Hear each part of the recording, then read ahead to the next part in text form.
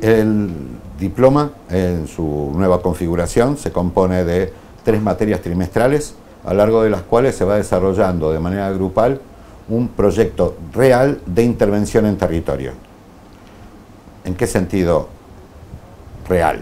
En que no se trata de una hipótesis de trabajo que sería útil ver en algún territorio genérico, sino que intentamos que cada uno de los trabajos finales sea de aplicación concreta o que se comience a ejecutar durante la cursada del diploma. Así que el diploma no está hecho para formar simplemente eh, ingenieros teóricos en inclusión o policymakers teóricos en gestión, sino de gente que en la práctica, en su compromiso cotidiano, quiere cambiar la realidad.